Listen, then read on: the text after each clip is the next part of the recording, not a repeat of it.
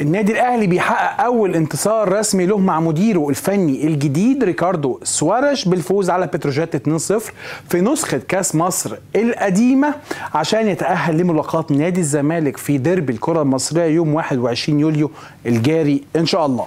أكيد أول مباراة زي ما بقول لكم دايما استحالة تستشف منها أي شيء أو أي تطور من المدير الفني لأي فريق جديد. مستحيل صعب جدا ان أي مدير فني يجي خلال يومين أو ثلاث أيام يقدر يعمل أي بصمة أو أي شيء في أي فريق لأن طبيعة التمرين وطبيعة التدريب في الرياضة بشكل عام بيحتاج وقت عشان تقدر تقيس الأمور كلها بتاعة الفريق وكمان تقدر إن أنت تحقق أي تطور أو أي أو تصحيح أخطاء للفريق ريكاردو سواريز زي بالظبط بالظبط.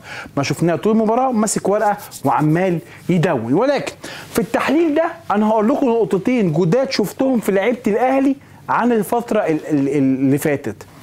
بنسبة كبيرة عملوها عشان خاطر في راجل جديد قاعد على الدكة وإحنا عايزين نقول لك إن إحنا يجي مننا وإن إحنا بنتنافس بشكل قوي عشان نلعب في التشكيل الأساسي اللي أنت بعد كده هتعتمد عليه. ريكاردو سواريز طبيعته والمنطقي تماما ان هو أول ما جه قال يا جماعة أنا مش هعمل أي تغييرات دلوقتي هلعب بالسيستم اللي الفريق already ماشي بيه ولعب بطريقة 4 2 3 1 زي ما شفنا. في المباراة. محمد الشناوي دخل طبعا رجع محمد عبد المنعم العائد من الإصابة مع ياسر إبراهيم. محمد هاني علي معلول حمدي فتحي السولية قفشه حسين الشحات طاهر ومحمد شريف الطريقة المعتادة للنادي الأهلي في آخر خمس سنين بخلاف طبعا الفترة اللي لعب فيها بيتسو موسيماني مدير الفني السابق ب 3 4 3 كابتن هيثم شعبان على الناحية الأخرى نادي بتروجيت زي ما كنا بنشوف مع السيراميكا لما بيقابل الأهلي أو بيقابل الزمالك بيرص الخمس مدافعين ورا وبيحط أربعة في خط الوسط وبيحط مهاجم وبيلعب ما بطريقة تشبه ال zone defense. ما بيقابلش الأهلي خالص من نص ملعبه وبيسيب بنى اللعب النادي الأهلي يبني اللعب زي ما هو عايز. النادي الأهلي مع بداية المباراة وفي المباراة الأخيرة بعد رحيل بيتسو موسيماني شفنا اللعيبه بي في بداية المباراه بي عندهم حماس بيتحركوا بيلعبوا كرة على الأرض كتير بيستغلوا المخزون البدني اللي فعلا فعلا واضح جدا إن الأهلي مبقاش يلعب كتير يعني مش بيدي الأداء بنفس الدرجة 90 دقيقة. واضح جدا جدا لعيبة النادي الأهلي متأثرة بدنيا. طيب. النادي الأهلي فضل الفريق مطير الاثنين full backs طوال الشوط الأول. اعتماد طبعا فريق بتروجيت مش هيهاجم النادي الأهلي كتير وهيعتمد على الهجمات المرتدة. وبرده كعادة النادي الأهلي واضح جدا في المباراة الأخيرة هجومه في بيبقى هجومه شديد جدا في الدقائق الأولى حتى في مباراة سموحة اللي خسرها 3 2 النادي الأهلي في بداية المباراة كان هو الطرف الأفضل هو اللي بيهاجم كتير هو اللي مستحوذ وسموحة استغل الهجمات المرتدة عن طريق مروان حمدي.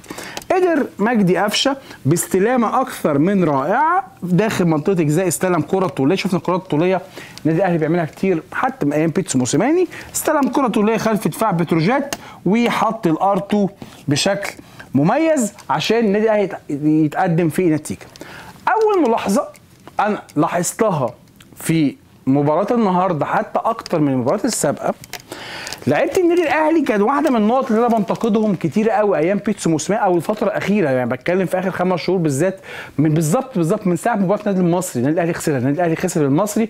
تعادل مع الجيش تعادل مع سيراميكا. بعد كده اتغلب من الوداد في نهائي دوري أبطال أفريقيا. في الفترة دي أنا انتقدت كتير لعيبة النادي الأهلي إن هم في الثلث الأخير بيلجأوا إلى الفردية أكتر من اللعب الجماعي وهدي مثلا بسيط على البورد. لنفترض محمد شريف قدر إن هو يخترق الحتة دي وخد المساك ده معاه وطار طاهر محمد طاهر لغاية إن هو دخل العمق عشان يسيب مساحة لعلي معلول.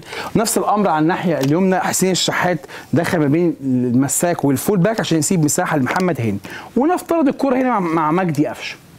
قفشة في في المنطقة دي كان معتاد إن هو دايما يلجأ إلى التسديد كحل أولي عنده أكتر ما يبص ليه اللاعبين. في ماتش بتروجيت أنا تابعت اللعيبة اللي بتستلم الكورة خارج منطقة الجزاء بدأت ألاحظ إن كلهم بيباصوا الكورة. في هجمة للنادي الأهلي في الشوط الأول. مجدي قفشة خد الكورة كان طاهر نزل له عشان يسحب معاه ال full back ده وفعلا قفشة ما لجأش للتسديد. مرر الكوره لطاهر محمد طاهر. طاهر عمل يعني شكله إن هو هيسدد راح ال full back بتاع بتروجيت ضامم فساب المساحة لعلي معلول ففضلوا المساحة. فواحدة من النقط اللي شفتها النهارده دي أمر آه، من لاعبين بحت. يعني ده قرار فردي من اللاعبين بحت. ولا في أي تكتيك متفقين عليه ولا في أي خطة متفقين عليها في أوضة اللبس. مفيش أي كلام من الكلام ده. ده قرار فردي بحت من اللعيبة إن هم يلجأوا للعب الجماعي أكتر من اللعب الفردي. واضح جدا جدا جدا جدا إن اللعيبة كانت بتفضل نلعب مع بعض أكتر ما نلجأ إلى الفردية لسببين. أول سبب لانها جت للفرديه فيها مغامرة. شوط كام شوطة كده وطلعوا بره الملعب هيبقى شكلي وحش قدام المدرب الجديد. هيقول إيه ده؟ أنت بتاع وحش الفينش بتاعك مش كويس تسديداتك مش قوية وكمان أنت ما بتلعبش جماعي. وطبعا النقطة الثانية ان أنا أبين للمدير الفني إن أنا بلعب جماعي. يعني هم دول في وجهة نظري. سببين خلوا لعيبة النادي الأهلي في أرض الملعب يلجأوا للعب الجماعي أكتر من اللعب الفردي اللي كانوا معتادين عليه. آخر فترة بيتسو موسيماني في آخر ثلاث أربع شهور اللعيبة كلها كانت بتلجأ للحلول الفردية. اللي يروح هنا يشوط. حتى إحنا اتكلمنا على القرارات الفردية السيئة في ال 15 دقيقة للمباريات الأخيرة للنادي الأهلي بسبب طبعا الاجهاد الذهني وكمان قرارات اللعيبة وحشة. قرارات اللعيبة سيئة. بيلجأوا إلى التسديد في توقيتات بتبقى الفرق اللي قدامك عاملة لك بلوكات جامدة جدا جدا جدا. فصعب إن أنت تشوف المرمى بشكل كويس ده. أنت بتشوط والسلام. النهارده إلى حد ما لاحظت إن لعيبة النادي الأهلي لما بيوصلوا الثلث الأخير من عند المنافسين بيحاولوا على قد ما يقدروا إن هم يبينوا للمدير الفني إن إحنا بنلعب جماعي بنختار الحل الجماعي أكتر ما بنختار الحل الفردي. طيب دي قلت لكم أنا هقول لكم على نقطتين. شفت لاحظت لاحظت إن هم فيهم تغيير النهارده في لعيبة النادي الأهلي لكن ما ما فيش أي بصمة للجهاز الفني الجديد ما فيش أي بصمة للمدير الفني الجديد. الحاجة الثانية مع فكرة اللعب الجماعي إن لعيبة النادي الأهلي الهجوميين كلهم بيرجعوا يدافعوا. كلهم بيرجعوا يدافعوا بنفس الحماس. بتكلم على مثلا اللي بدأوا بنتكلم على اللعيبة الهجوميين. قفشة مركز 10 محمد شريف مركز المهاجم الصريح طاهر محمد طاهر ال left wing وحسين شحات ال right wing.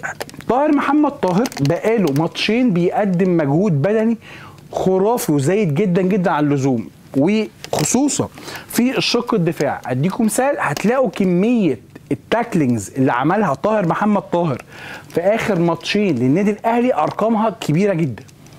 أي كورة مرتدة من هجمة للنادي الأهلي تتعكس على فريقه على طول. بيعمل tackling عشان يوقف الكورة إما إنه بيعمل فاول أو يخرج الكورة أوت.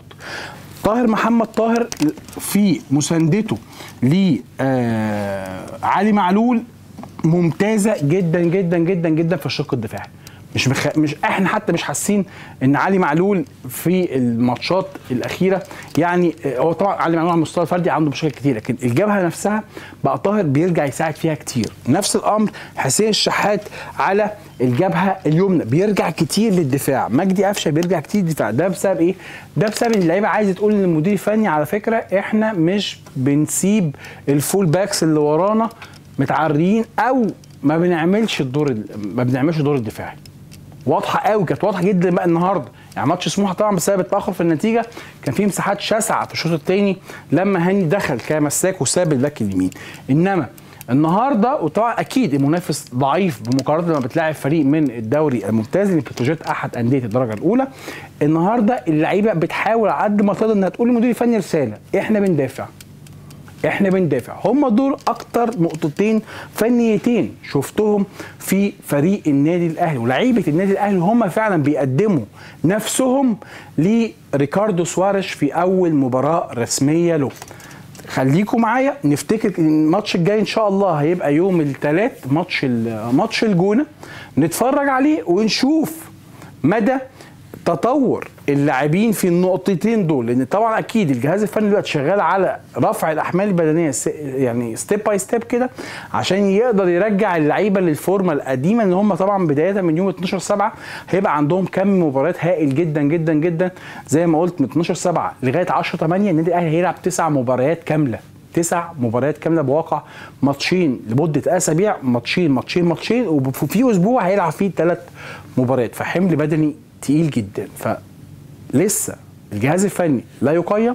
لسه ريكاردو سوارش ما عندوش المساحة إنه يعمل أي بصمة للفريق. ولكن نقطتين دايما افتكروهم وركزوا معايا عليهم في المباريات الجاية.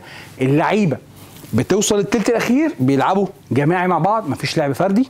والنقطة الثانية إن الأربع لعيبة الأماميين ال playmaker الاثنين wing ات اللي على الأطراف ومهاجم الصريح محمد شريف كلهم بيرجعوا في الحالات الدفاعية وما بيخلوش خالص خالص خالص في الشق الدفاعي. ألف مبروك للنادي الأهلي وجماهيره.